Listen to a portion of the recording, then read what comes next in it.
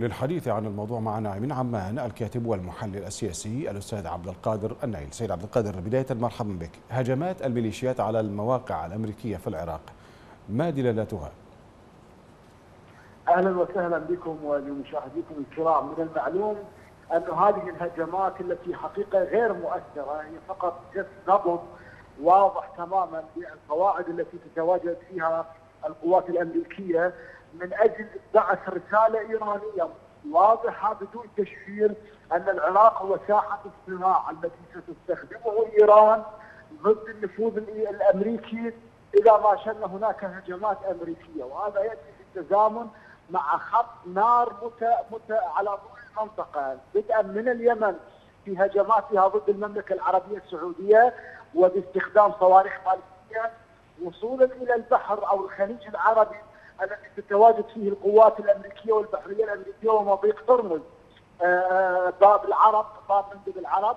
كل هذه حقيقة وصولا إلى العراق.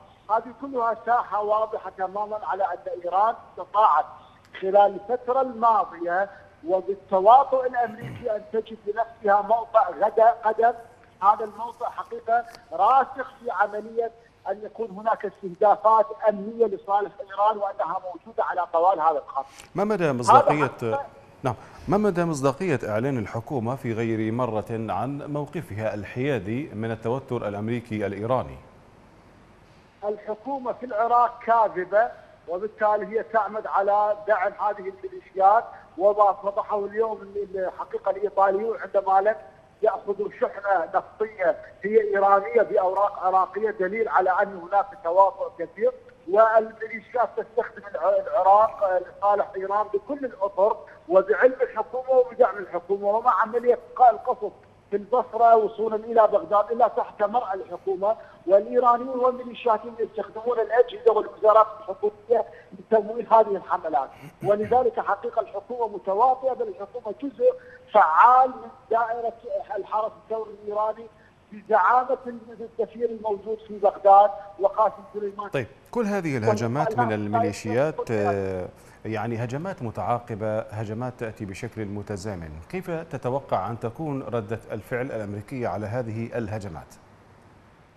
الأمريكان إذا لم يتواطؤوا مع الإيرانيين في عملية إظهار أن إيران قوة في المنطقة وأنها تستهدف أكبر قوة موجودة في العالم وهي الولايات المتحدة الأمريكية فإنه حقيقة الولايات المتحدة تملك كثير من الخيوط خيوط اللعبة أعني المنطقة وتحديدا العراق في عملية تصدي وإنهاء هذه الميليشيات، وبالتالي هي تملك خارطة واسعة متداخلة داخل هذه المناطق إلى ما أخذنا بنظر الاعتبار.